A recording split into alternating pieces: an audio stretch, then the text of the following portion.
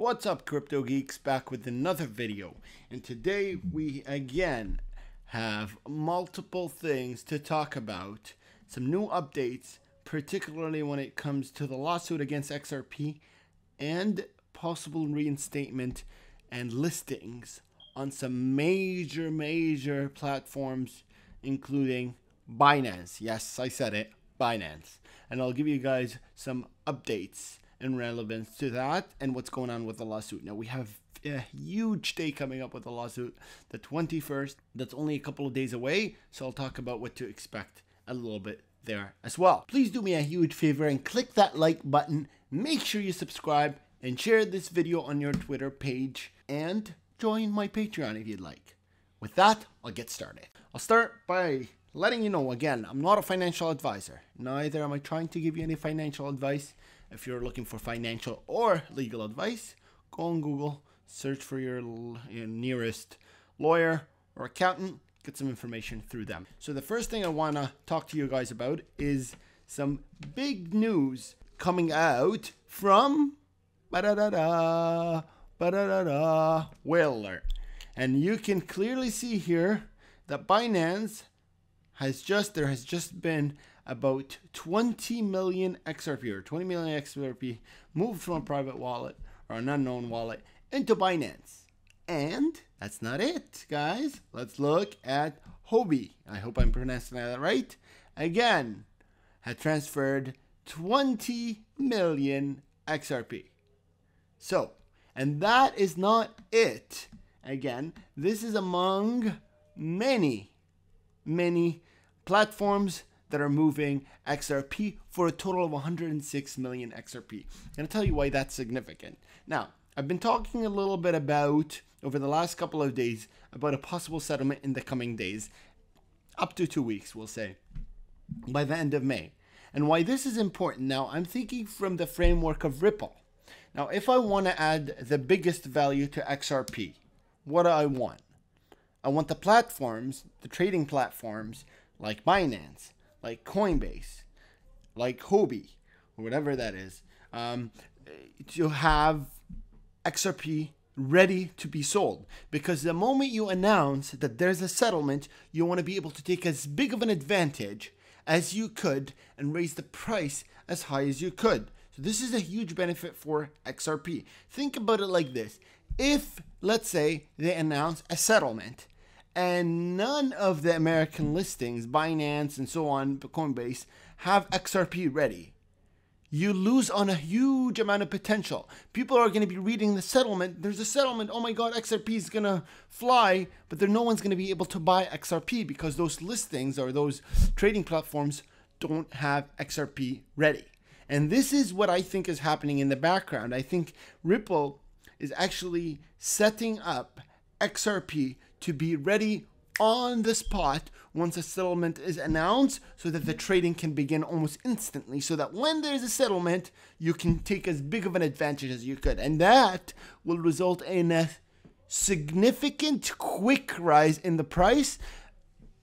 And again added value to XRP. So this is amazing news, and actually, I'm not too shocked to be honest. I just didn't think it would be as clear, and it's it's becoming very clear now that they're prepping for relisting. So this is this is great news for everybody that's holding XRP, and this is actually should be a trigger to a lot of people that don't have XRP that now it's the time to buy because guess what? Once they announce announce a settlement, and if the the the platforms, the trading platforms, instantly put XRP back, reinstate it, you're not going to be able to go in. I, I can tell you almost almost with entire certainty, unless you put in ten times what people are putting in right now, you're not going to be able to get in because it's going to fly so quick that no one will be able to catch up, and whoever has it has it, and whoever doesn't is just kind of stuck. Um, so the total cost of the XRP that was traded between platforms was 161 million dollars almost 162 million huge huge huge numbers and i can tell you those numbers are not being traded for no reason that means something big is about to happen. So that's that's my first uh, my first thought here. The second thought that and the other point I wanted to bring up for you guys is guess what? We have a new a new document released. Now I'm gonna go back here just to tell you the source, and guess who the source is, guys? Cryptolaw.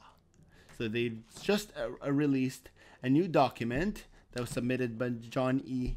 Deaton and if you don't know John E. Deaton, I mean, you, everybody that's in the XRP community should know. And he's the lawyer that's representing XRP holders filing a lawsuit against SEC, who are supposed to do what? Protect uh, protect the investors. So basically, the people that they are claiming to protect are filing a case against them and are hoping to get in on this lawsuit on Ripple side. So big news he just released the memorandum of law on behalf of the holders.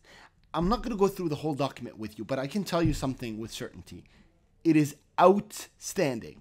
I mean, he did an amazing job. Not only was it good, but it actually brought up a lot of the points that people, I don't know if they were afraid or just kind of uh, were not focused on discussing. And that's the linkage between the SEC and Ethereum. Clayton specifically and Ethereum. And he brings that up in an amazing, amazing way. And it's pretty strong. I'm going to read it right to you the way that it says here. I'll start actually up here. Um, I know it's not highlighted, but I'll, I'll still talk about it. So the SEC has attempted to betray XRP holders Kinsella as an unhinged conspiracy theorist crusader unfairly targeting the SEC. And this is what they made the SEC or XRP holders. In fact, SEC had threatened to sue every single XRP holder, which I mean is is the dumbest move that they could ever do, particularly when they're seeing that the judge is not on their side for the most part. I mean, you're going out trying to say, oh, we're defending investors, and then you say, we're going to sue every investor that goes against us. Makes absolutely no sense. And again, John is amazing at making that very clear. So he brings the, the, the issues that, you know, SEC being this amazing entity trying to protect investors, and he brings all of their downfall into sight. And he talks specifically about the director of corporation and finance, William Hinman, and he says, who declared that Ethereum as a non security while being paid millions of dollars while at the SEC from his law firm and him being a member of the Ethereum Alliance. That is insane, and that is a big conflict of interest. Forget about what's going on with this lawsuit. That on its own needs an investigation. Furthermore, the former chairman, Clayton, who declared Bitcoin and Ethereum as non securities while directing a suit, in essence, against its competitor, XRP, on his last at the SEC. Later accepting a job at a hedge fund that invested $1 billion in Bitcoin, Ethereum, shortly before the lawsuit against Ripple and XRP. If that is not a huge red flag to the judge, I don't know what is. And what again, I'm just gonna go back to the, the stop sentence here that you know when we talk about XRP holders. And they made XRP holders seem like the craziest crowd of people that are just about to lash out and destroy whatever at the SEC. But in another part of this same motion, I'm going to show you what what John uh, what brings up. And here it is. I'm going to skip through all of this. We're just going to talk about it a little bit here. And he's saying that the initial intervention was March 14th, 2021. And the SEC at the time claimed that there's going to be a floodgate and it's going to make them not be able to do their job if if this didn't end instantly and he says look at the date it is today where's the floodgate between march 14th and the 21st and and today may 17th these were all claims just as a mere scare tactic. This is unbelievable. He did a great job. And I was reading a lot of the Twitter comments, and this is, I mean, a lot of, of just regular people, but we would all, and, and me for one, be shocked if if the judge didn't grant uh, grant him involvement in this case. And if that happens, the SEC is screwed. And the SEC, you can look at how much effort they put in to try and end the involvement of XRP holders and, and this class action. So this is great news, but I think with all this positivity and all the strength from Ripple and XRP's community, I can tell you that this settlement is about to come in very, very, very soon. And perhaps none of this will matter in a couple of days. I just had a suspicion, and I'm, I'm not sure if this is reality, but there was a day where co CEO of Ripple said something. I'm going to show you what he said. David Schwartz said, let's take a look. Maybe I can square down here and show you. May 14th. Today was a good day. And I think perhaps this is, and this is just my own analysis and my own kind of thought, that this was the day that they came out to not a perhaps not a definitive confirmation of a settlement, but they knew that this lawsuit was about to end or ended. So let's hope that's true.